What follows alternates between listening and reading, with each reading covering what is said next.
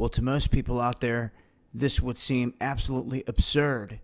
But it looks like Florida regulators have voted to approve a new water quality standard that they've just put in place that will increase the amount of cancer causing toxins that will be allowed in Florida's rivers and streams.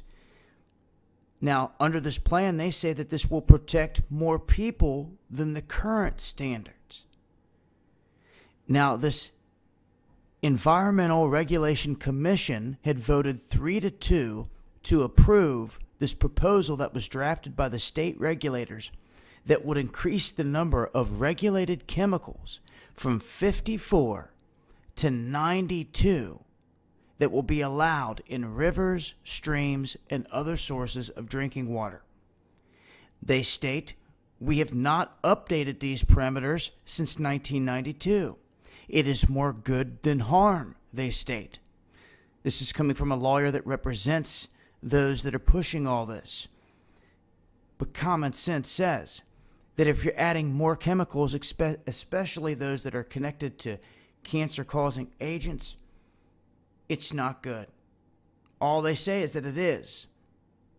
They barely pushed it through. So, this is what people in Florida can expect. They're making moves like this all over the place. When it comes to survival, water is key. Water and food, the top priorities.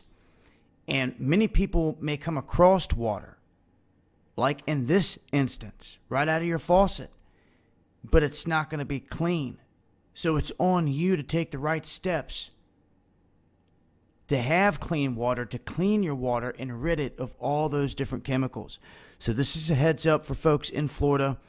And if you want something that's cheap and that will help you, you can throw in your bag that is good against a lot of these chemicals and different things out there. These ProSip straws are like 15 bucks and they last four to six months while you're using them. They're good for five, eight ounce glasses a day. And really, you can't beat it for being a small, compact filter that you can use to drink water.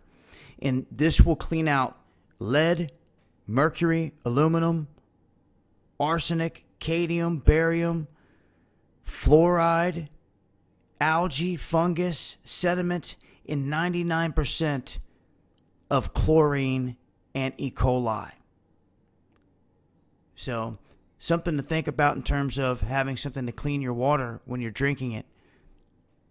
It's a quick, easy route there. I'll talk about more in upcoming videos, but the water issue is a big one. In Florida, right now, they've just upped the levels and said it's for your own good. I think different. I'll leave links. It's been Dahboo7.